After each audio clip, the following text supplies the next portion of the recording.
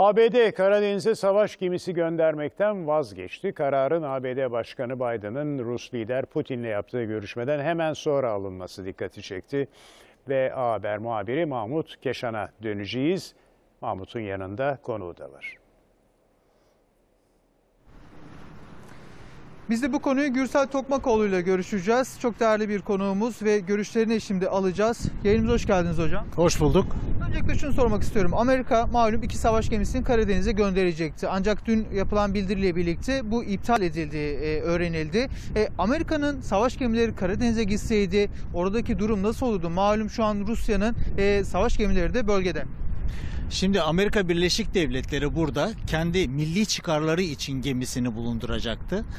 Bunun uluslararası manada açıklaması gerekiyor. Bunu nasıl açıklayacaktı Amerika Birleşik Devletleri? Şimdi baktığınızda Avrupa Birliği ile Ukrayna'nın ilişkisi var. Bu e, zaten bütün çıplaklığıyla 2013'ten beri bilinen bir hadise. NATO'nun da yani Ukrayna NATO'ya gireceğim dedikten sonra NATO'nun da bir ilişkisi var. Bu konuda da dengeleyici bir hususu gündeme getirebiliriz ama Amerika'nın tek başına ben buradayım demesi eğer Ukrayna onu davet etmediyse ne mana taşıyordu? Şu anda Ukrayna onu davet etmiş değildi. Dolayısıyla buraya savaş gemilerini göndermesi aynı zamanda ben burada varlık gösteriyorum demek olacaktı ki kime karşı varlık gösteriyor? Yani Ukrayna'ya yardım edecekse yardım istenmemiş. Rusya'yı karşıma alıp da geliyorum deyince Rusya da o zaman bunu kendisine düşmanca bir faaliyet olarak görecekti. E, gezmeye gelinecek zaman değil çünkü e, malum bir gerginlik var burada. Bu gerginliğin giderilmesi gerekiyor idi. Bu gerginliğin giderilmesi bölge ülkelerin katkıları uluslararası sistemin devrede olması. Bu Minsk'in, Agit'in çabalarıyla olacak şeyler. Dolayısıyla burada zaten e, olmaması gereken bir durumda. Amerika bunu büyük bir ihtimalle Putin e, ve Biden'ın görüşmesi neticesinde bir üçüncü ülkede e, yeni bir toplantı önerisi var. Bu değerlendiriyordur muhakkak. E, buna e, yönelik olarak aynı zamanda barışçı bir e, düşünceden kaynaklı yanlış adım atmamak pahasına alınmış bir tedbir diye düşünüyorum. Türkiye'nin e, baktığımız zaman bu tabloya, bu duruma yaklaşımını nasıl değerlendiriyorsunuz? Bölgedeki malum sıcaklık devam ediyor Ukrayna ve Rusya arasındaki. Şimdi burada Donbas, Kırım sorunları evet kronik bir sorun. Ee, işte 2013-2014 yaşanan şeyleri biliyoruz. Ee, Minsk grubu, Minsk dörtlüsü burada çaba sarf ediyor. Aget işin içerisinde. Ee, burada bir oldu bittiyle Rusya'nın e, Donbas'a ve Kırım'a müdahaleleri belli. Hem seçimlere müdahale hem de ayrılıkçı güçleri buraya e, devretti. Ve dolayısıyla şimdi burada bir huzursuzluk var. Ama bu sorunun çözülmesiyle ilgili olarak Rusya, Ukrayna karşılıklı çaba göstermek zorunda. Eğer bunlara e, bir ara bulucu gerekiyorsa bu Minsk'in ve Agit'in dışında bölge istikrarı bakımından Türkiye'nin misyonu da gerekebilir. Çünkü burada Karadeniz'e sahiller olan ülkelerin kendi içerisinde çözebileceği bir problem olarak bakılmalıdır. Bu noktada ee, bir defa şunu da söylememiz gerekiyor. Karadeniz'deki bulunacak olan bütün e, istikrarın anahtarını işte bu karşımızda arkamızda duran e, biz boğazlar sayesinde temin ve tesis ediyoruz. Bu aynı zamanda uluslararası barışa bir katkıdır.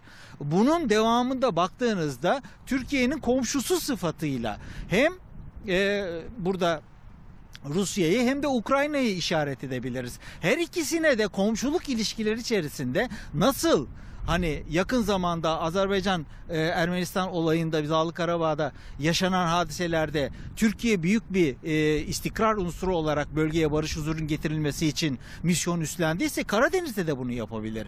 Şimdi baktığınızda tabi burada Bulgaristan, Romanya, Türkiye, NATO ülkeleri. Ama Türkiye ben NATO ile ilgili olarak burada elimi tamamen e, bu yöne doğru değil bölge ülkesi olarak katkı sağlamak istiyorum dediği noktadadır. Ama yine de Ukrayna'nın e, Avrupa Birliği ile ve NATO ile olan ilişkilerinde de Türkiye e, yine bu konuda e, itidalli davranılması gerektiği noktasında her türlü katkıyı sağlayacaktır diye düşünüyorum.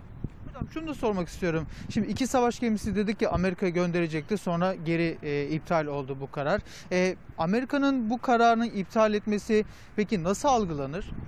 Amerika Birleşik Devletleri burada zaten e, onu gerginliği arttıracak bir husus olarak e, işaret edebiliriz. Ama verdiği mesaj zaten yerine ulaştı.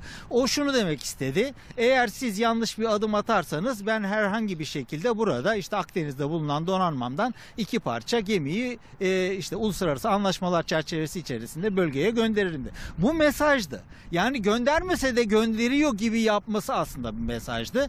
Ama Rusya'nın bu olayla ilgili olarak aldığı mesaja karşılık cevabı da o da kendi e, ikmalini yaptı. Bölgeye e, gemilerini kaydırmış oldu veya işte belirli bir oranda e, tırmanmaya sebep. Ama şöyle bakınız güç mücadelesi içerisinde bölgedeki o süper güçlerin veya bölgesel güçlerin eşit miktarda ki birbirlerini caydırmaya yönelik olarak e, birlik bulundurması veya bu konudaki işte faaliyetlerini yürütmesi dengeyi bozmaz. Dengeyi bozacak hadise birinin daha fazla güç bulundurması, daha fazla aktif olması. Amerika'nın veya diğerlerinin burada dengesizlik yaratacak olan unsurlarını devreye sokması halinde istikrarsızlık meydana gelir. E, şimdi bu bütün olarak bakmak zorundayız buna. Çünkü diğer taraftan da Rusya örneğin Kuzey Buz Denizi'nde 3 tane e, mesela denizaltıyı aynı anda çıkartarak e, su yüzüne e, bir şov yapmıştı. Yani Amerika'ya ben buradan da komşuyum sana dikkat et. Yani bunu küresel bir e, duruma da sevk etmek mümkün olabiliyor. Şimdi bunlar aslına bakarsanız Karadeniz'deki bütün meseleleri Ka- Karadeniz'e sahilde olan ülkelerin oturup konuşabileceği şeylerdir. Biz e, bunu böyle bu çerçeve içerisinde bölgenin kendi içerisindeki dinamiklerle çözmesi gereken hadise olarak bakıyoruz. Ama uluslararası misyonla devam edecek hususlar zaten önce şunu söylüyor. Eğer ki burada ayrılıkçı unsurlar varsa gitsin diyor. Mesela Minsk dörtlüsünün e, misyonu içerisinde veya AGİT'in devrede olduğu noktada onu diyor. Şimdi Rusya eğer ki burada ayrılıkçı unsurları destekliyorsa e, bu sadece Türkiye'nin Zelenski ile oturup konuştuğu bir hadise değil. Yani AGİT çerçevesinde de durum böyle. E, baktığınızda Minsk durum e, bunu zaten Rusya kabul etmiş durumda Minsk çerçevesinde de bakarsak. Dolayısıyla ikinci hadisede eğer ki seçimlere müdahale ettiyse bundan gitmek. Ama şöyle bir şey var. Burada barış denizi olacak diye ifade edilmişti Zelenski ile toplantı içerisinde. Bunun olmaması için hiçbir sebep yok. Yani burada bölge ülkeleri masaya oturup da bu işleri kendi içerisinde evet sorun var. Yani Rusya mesela Ukraynalılara Rus pasaportu veriyor. Bugün dahi Kırım'da işte e, Donbas'ta. Yani şimdi bunları düşünürseniz siz eğer ki böyle zorlamalarla e, Ukrayna vatandaşlarına yönelik bir şey varsa e, Rusya bunu değerlendirmek zorunda. Bunlar işte istikrarsızlığın örnekleri olarak geliyor. Ama Rusya diğer taraftan da baktığınız zaman işte bölgeye 80 bin civarında asker yığdı. E, bunu e, bir dengeleyici unsur olarak koydu. Ama baktığınızda NATO'nun da Defender Europe 21 tatbikatını düşünürseniz o da bölgeye bir takım askeri yığınaklanma yaptı diye söyleyebiliriz. Bunların gelebileceği nokta buydu. Aslına bakarsanız hepsi bu. Bunlar caydırıcıydı. Birbirini caydıran unsurlar olarak göz önünde tutarsanız evet. Bu şimdi yeni bir aşamaya geçti. Eğer ki üçüncü ülkede Amerika ile Rusya yani Putin ile Biden masaya oturur da evet e, çok e, konuları var konuşacak mutlaka iki süper güçten bahsediyoruz ama özellikle konu Ukrayna ise Ukrayna bağlamında bir yol haritası çizebilirlerse zaten sorun geçmiştir. Yani ben e, temel olarak Karadeniz'de sular ısınmıştı diye düşünenlerden değilim. Bu bir yere kadar geldi. Şu anda as- aslında normalleşmeye dönüldü diye düşünüyorum.